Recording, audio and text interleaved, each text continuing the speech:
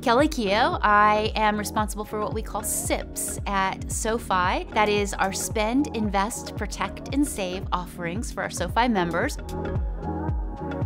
SoFi's mission is to help our members get their money right so that they can spend better, borrow better, and they can save better, and do that in ways that are all really complementary.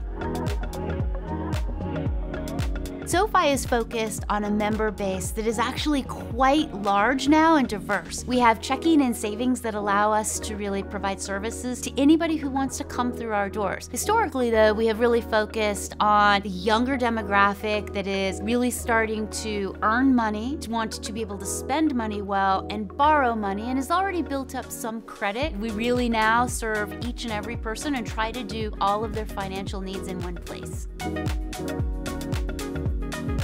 services that Galileo provides innovate faster, bring a broader range of capabilities to our members, a core foundation that we can really build on for the future as we scale our bank. So some of the capabilities include our pay in four offering or a buy now, pay later. We were able to stand that up in a matter of months.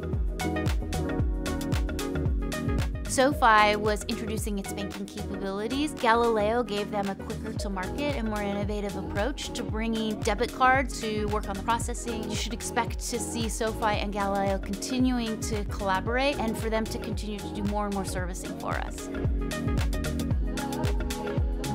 Want to move really quickly to provide a range of services, whether that's in lending, it's in cards and payment processing for individuals or small businesses. And there's an opportunity for us to grow together and potentially help each other go faster into each of these spaces. When SoFi innovates, then for us to be able to contribute SoFi innovations into the Galileo ecosystem, then more partners of Galileo can actually take advantage of it. SoFi benefits by all of the innovations that Galileo is creating, and then the innovations that we do at SoFi contribute back to what Galileo can then provide to their partners. We are working really closely with the Galileo team, David Foyer, the technology and the product teams. They have not only helped us understand what Galileo and Technisys can do, but they've been thought partners to help us improve SoFi overall. They have opinions, they express them, and that's, I think, the value that you get by having that partnership.